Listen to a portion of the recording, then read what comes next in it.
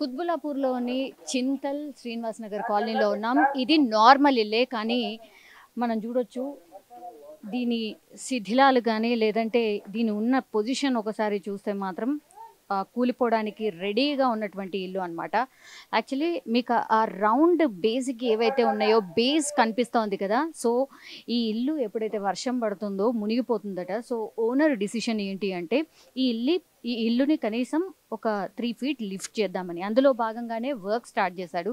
కానీ ఈ వర్క్ చేసేటప్పుడు ఏవైతే అంటే టోటల్గా ఏవైతే జాగ్రత్తలు అయితే తీసుకోవాలో అవి ఎక్కడ కూడా తీసుకోకుండానే ఈ ఇల్లుకు సంబంధించి బేస్మెంట్ నుంచి ఒక త్రీ ఫీట్ లేపుదామని డిసి డిసిషన్ తీసుకొని ఆయన వర్క్ కూడా స్టార్ట్ చేశారు మనం ఇక్కడ చూడొచ్చు ఇది టూ స్టోర్డ్ బిల్డింగ్ అంటే ఇక్కడ పైన కిరాయి వాళ్ళు ఉంటారు అండ్ కింద ఓనర్ ఉంటారట. సో మనం చూడొచ్చు కింద ఓనర్ ఎవరూ లేరు. ఓనర్ ప్రస్తుతం ఎక్కడున్నాడో కూడా ఎవరికీ తెలియని సిచ్యువేషన్ ఉంది. సో ఇక్కడ వర్క్ అయితే స్టార్ట్ చేసేసారు. పైన ఉన్న కిరాయి వాళ్ళకి అసలు కనీసం అంటే కనీసం ఇన్ఫర్మేషన్ ఇవ్వకుండానే వర్క్ స్టార్ట్ చేశాడు సో ఎంత డేంజరస్ డిసిషన్ ఇది మనం అర్థం చేసుకోవచ్చు. వర్షం పడ్డప్పుడు ఇల్లు మునిగిపోతుంది కాబట్టి నా ఇల్లుని హైడ్రాలిక్ మెథడ్ మనందరికీ తెలుసు. ఎప్పుడైతే ఆ కింది ఇంటి బేస్మెంట్ నుంచి పైనకు లిఫ్ట్ చేసే ప్రొసీజర్ చాలా మనం చూసాము. చాలా మటుకి సక్సెస్ అయిన సిచ్యువేషన్ కూడా ఉంటుంది. కానీ అది ఎప్పుడైతే డిసిషన్ తీసుకుంటారో అప్పుడు మాత్రం ఖచ్చితంగా కొన్ని మెజర్స్ ఉంటాయి. అవన్నీ తీసుకోవాలి. జిహెచ్ఎంసీకి సంబంధించిన పర్మిషన్ తీసుకోవాలి.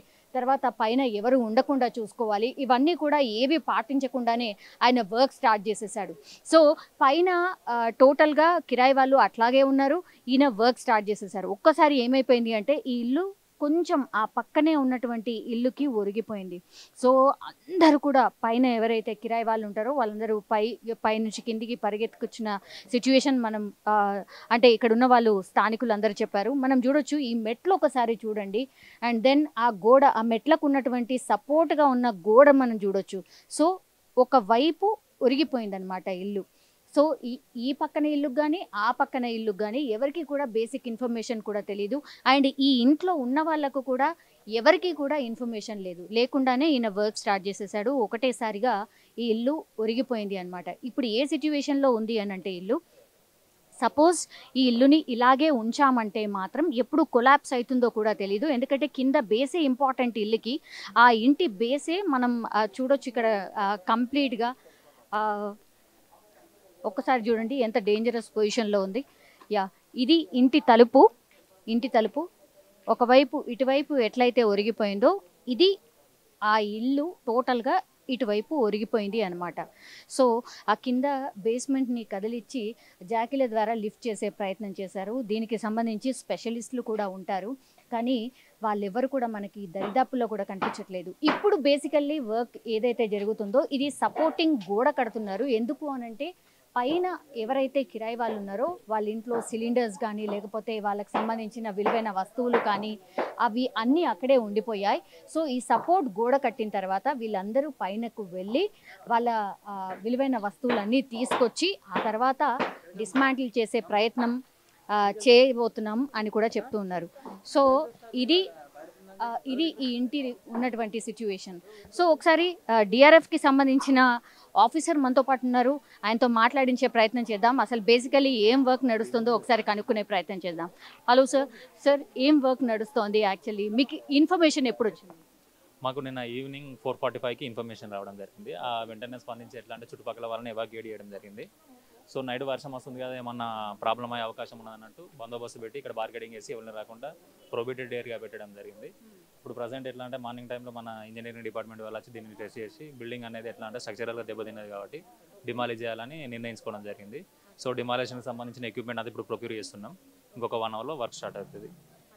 వర్క్ స్టార్ట్ అవుతుంది అని అంటే ఎన్ని గంటలు పట్టొచ్చు? అండ్ పైన ఎవరైతే ఈ పోర్షన్ వాళ్ళు ఎవరైతే ఉన్నారో వాళ్ళందరినీ ఎవాక్యువేట్ చేసి ఎక్కడికి పంపించారు?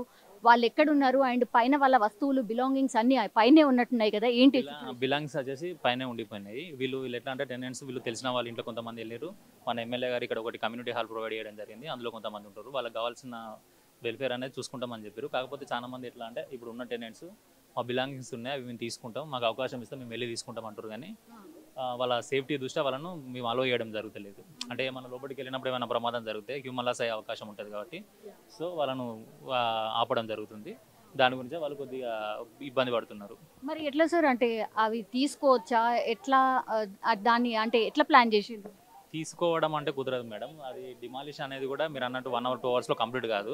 స్టెప్ బై స్టెప్ ఎందుకంటే పక్క కూడా మనకు అడ్జస్టెంట్ బిల్డింగ్స్ ఉన్నాయి కాబట్టి వాటికి కూడా ఇబ్బంది కలగకుండా చేయడం జరుగుతుంది కాబట్టి స్టెప్ బై స్టెప్ చేస్తుంటే అంటే ఒక్కొక్కటి బయటికి సామాన్ తీసుకున్న తర్వాత చేయడం జరుగుతుంది. దానికి సంబంధించిన కాంపన్సేషన్ అది ఇది అనేది వాళ్ళు ఓనర్ వాళ్ళు చూసుకుంటారు. ఇప్పుడు ఓనర్ ఎక్కడ ఉన్నాడు ఏంటి ఉన్నారా. పక్క బిల్డింగ్లో ఉన్నారు. అసలు పర్మిషన్ ఏమైనా తీసుకున్నాడా? ఎట్లాంటి వితౌట్ విత్ వితౌట్ పర్మిషన్ వాళ్ళు ఎట్లా అంటే ఇండివిజువల్గా ఆల్రెడీ ప్రాక్టీస్లో ఉంది కదా అన్నట్టు వాళ్ళు చూసుకున్నారు. కాకపోతే ఇక్కడ ఎట్లా అంటే సాయిల్ టెస్ట్ చేయకపోవడం వల్ల టెక్నికల్గా వాళ్ళకు అది లేక బిల్డింగ్ అనేది పక్క బిల్డింగ్ మీద కొద్దిగా ట్విస్ట్ అయ్యి పడడం జరిగింది. సో ఈ టెనెంట్స్కి అసలు ఇన్ఫర్మేషన్ ఇచ్చిండ్రా? అసలు ఎవరికైనా ఈ చుట్టుపక్కల వాళ్ళకి ఎవరికైనా ఇన్ఫర్మేషన్ ఉందా?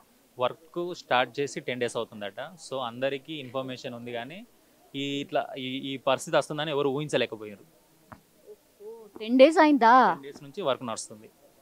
మాకు నిన్న ఈవినింగ్ ఇన్ఫర్మేషన్ ఇది జరిగిన తర్వాత ఇన్ఫర్మేషన్ ఉంది అఫీషియల్ ఇన్ఫర్మేషన్ మాకు అంతకుముందు ఇన్ఫర్మేషన్ ఏం లేదు. ఈ వర్క్ చేపట్టి కూడా టెన్ డేస్ అవుతుంది. సో అందరూ వెల్ అవేర్. అందరికీ తెలియని విషయం ఏది కాదు. సో అందరికీ తెలిసిన విషయమే. ఒక్కసారి బిల్డింగ్ ఒరిగిపోయేసరికి ఇది వార్తలాగా? అంతే అండి. ఇప్పుడు ఎంతమంది టెనెంట్స్ ఉండిండొచ్చు అండి? పైన మనకు పైన ఫ్లోర్లో ఇద్దరు ఉన్నారు. మిడిల్ ఫ్లోర్లో ఒకరు. కింద అంటే ఎవరు లేరు. ఇప్పుడు డిమాలిషింగ్ అంటే డిసిషన్ తీసేసుకున్నారా? అసలు ప్రొసీజర్ ఏం ఫాలో అవుతారు? అంటే బిల్డింగ్ డిమాలిష్ చేయాలి అని అంటే వాట్ ఈస్ ద ప్రొసీజర్ అంటే అది మాకు సంబంధించింది కాదు మేడం. మీరు మున్సిపల్ డి కానీ వాళ్ళని అడిగితే వాళ్ళు చెప్తారు. మేము డిఆర్ఎఫ్ తరఫున ఎట్లా అంటే ఎవరికేం ఇబ్బంది కలగకుండా లైవ్ లాస్ కాకుండా ఉండడానికి చూసుకోవడం మా బాధ్యత. మేము అదే పనిలో ఉన్నాం మేడం. ఇప్పుడు అంటే బాంబ్ లాగా పెడతారా? లైక్ ఎట్లా? అట్లేం లేదు. మామూలుగా డ్రిల్లింగ్ అండ్ మన హిటాచి తోటి బ్రేక్ చేయడం జరుగుతుంది కటింగ్ చేసుకుంటూ. Okay it's a slow process అన్నమాట. ఓకే. సో ఇదంతా డిమాలిష్ ఎవ్రీథింగ్ కావడానికి ఎన్ని డేస్ పట్టొచ్చు? మేబీ ఐడియా లేదు మేడం. స్టెప్ ఎందుకంటే పక్క బిల్డింగ్కి ఇబ్బంది కలగకుండా చూసుకోవాలి కాబట్టి స్లోగానే జరుగుతుంది. ప్రోగ్రామ్ అయితే ఇప్పుడు స్టార్ట్ చేస్తున్నాము. ఎప్పుడైతుంది అని చెప్పలేము. సో డిఆర్ఎఫ్ ఆఫీసర్ మాట్లాడుతూ కూడా ఒకటే చెప్తున్నారు. సో పైన టెనెంట్స్ ఎవరైతే ఉన్నారో వాళ్ళకు బేసిక్ ఇన్ఫర్మేషన్ లేదు అనేసి అంటే టెన్ డేస్ నుంచి ఈ వర్క్ నడుస్తోంది. బిల్డింగ్ ఒక్కసారిగా ఎప్పుడైతే ఒరిగిందో అప్పుడు మాత్రం డేంజరస్ సిచ్యువేషన్కి చేరుకున్నామని అర్థమై అప్పుడు ఈ బిల్డింగ్కి సంబంధించిన టెనెంట్స్ ఎవరైతే ఉంటారో వాళ్ళందరినీ ఎవాక్యుయేట్ చేశారు. అండ్ బేసిక్ ఇన్ఫర్మేషన్ అంటే ఈ బిల్డింగ్ ఇట్లా చేస్తున్నాము అన్న కనీసం ఇన్ఫర్మేషన్ ఎవరికైతే ఇవ్వాలో అంటే జిహెచ్ఎంసీ కావచ్చు పోలీస్ సిబ్బంది కావచ్చు లేదంటే జిహెచ్ఎంసీకి సంబంధించిన ఆఫీసర్స్కి కావచ్చు ఆ ఇన్ఫర్మేషన్ బేసికల్లీ ఇవ్వాలి ఇవ్వకుండానే ఆయన వర్క్ స్టార్ట్ చేశారు. ముంగట పక్కకు అండ్ ఎదురుగా ఇవన్నీ కూడా ఇండ్లున్నాయి కాబట్టి వాటిని అందరినీ దృష్టిలో పెట్టుకొని చాలా జాగ్రత్తగా డీల్ చేయాలి. స్లో స్లోగా డెమాలిష్ కూడా చేయాల్సిన సిచ్యువేషన్ ఉంది. ఎందుకంటే ఇక్కడ అందరూ ప్రజలు నివాసం ఉండే ప్రాంతం అండ్ ఇట్స్ ఏ కాలనీ కాబట్టి ఆ మెజర్స్ అన్నీ తీసుకున్న తర్వాతనే స్లోగా డిమాలిషన్ ప్రాసెస్ అయితే స్టార్ట్ చేస్తాము అని చెప్తున్నారు. ఇక్కడ ఉన్నటువంటి ఎమ్మెల్యే ఎవరైతే ఉన్నారో ఈ ఇన్ఫర్మేషన్ అందిన తర్వాత వెంటనే టెనెంట్స్ ఎవరైతే ఉన్నారో వాళ్ళందరినీ ఎవాక్యువేట్ చేసి ఆ దగ్గరలో ఉన్నటువంటి కమ్యూనిటీ హాల్ ఆర్ సమ్వేర్ వాళ్ళ రిలేటివ్స్ ఎవరైతే ఉంటారో వాళ్ళ ఇండ్లకి తరలించారంట.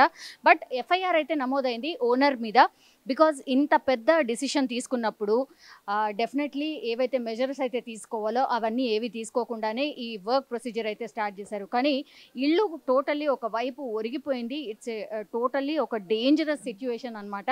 మనం ఇక్కడ చూడొచ్చు సపోర్టింగ్గా ఒక గోడను అయితే బిల్డ్ చేస్తున్నారు. ఎందుకంటే ఆ పైన ఎవరైతే టెనెంట్స్ ఉన్నారో వాళ్ళ వస్తువులన్నీ పైనే ఉండిపోయాయి కాబట్టి సపోర్టింగ్ కోసం గోడ కడుతున్నారు. లోపల కూడా సపోర్టింగ్ కోసం ఒక గోడ బిల్డ్ చేస్తున్నారు. పైనకు వెళ్ళడానికి ఒక మార్గం అయితే ఇప్పుడైతే ప్రస్తుతం తీసుకుంటున్న సిచ్యువేషన్ మనం చూడొచ్చు. సో డిమాలిషన్ వర్క్ అయితే ఇంకా స్టార్ట్ కాలేదు కానీ ఆ ఎక్విప్మెంట్ ఏదైతే పెద్ద పెద్ద జేసీబీలు ఉంటాయో వాటన్నిటినైతే వాటన్నిటిని అయితే ఆల్రెడీ సిద్ధం చేశారు. సో నెక్స్ట్ ప్రొసీజర్ అదే ఉండబోతోంది. So it's a continuation process లాగా maybe two or three days కూడా పట్టచ్చు. ఎందుకంటే స్లో స్లోగా డిమాలిషన్ అనేది స్టార్ట్ చేస్తాం. మ్యాన్ పవర్ అండ్ మెషిన్ల ద్వారా ఇది చేస్తామనేసి కూడా ఇక్కడ ఉన్నటువంటి ఆఫీసర్ చెప్తున్నారు. కానీ ఓనర్ అయితే ప్రస్తుతం పరారీలో ఉన్నట్టు చెప్తున్నారు. అండ్ టెనెంట్స్ ఎవరో అంటే ఇక్కడ ఎవరు లేరు. బట్ వాళ్ళకైతే ఒక ఇన్ఫర్మేషన్ అయితే ఇచ్చారు. సో కాసేపట్లోనే ఆ టెనెంట్స్ ఎవరైతే ఉంటారో వాళ్ళు కూడా వచ్చి ఆ పైన ఉన్నటువంటి వస్తువులు వాళ్ళ బిలాంగింగ్స్ మనం చూడొచ్చు. బట్టలు ఆరేసుకున్నారు అలాగే ఉండిపోయింది. డోర్ ఇక్కడ ఓపెన్ ఉంది అలాగే ఉండిపోయింది. సో వీళ్ళందరూ కూడా వచ్చి వాళ్ళ ఇంట్లో ఉన్నటువంటి విలువైన వస్తువులు తీసుకున్న తర్వాత డిమాలిషన్ ప్రాసెస్ అయితే స్టార్ట్ అయ్యే పరిస్థితి అయితే కనిపిస్తోంది. యా ఇది ప్రస్తుతం అయితే ఎక్కడైతే చింతల్లోని శ్రీనివాస్ నగర్ కాలనీ కుత్బులాపూర్లో ఒక ఇల్లు దగ్గర ఉన్నటువంటి సిచ్యువేషన్ సో చూడాలి అంటే ఇది టోటల్గా ఒక స్లో ప్రాసెస్ అయితే నడవబోతోంది. మేబీ ఒక టూ త్రీ డేస్ తర్వాత ఈ బిల్డింగ్ మొత్తం ఈ బిల్డింగ్ మనం ఏదైతే చూస్తున్నాం ఇది టోటల్గా స్మాష్ అయిపోయి ఈ- అసలు ఈ బిల్డింగ్ ఆనవాళ్ళే మనకు కనిపించకపోవచ్చు.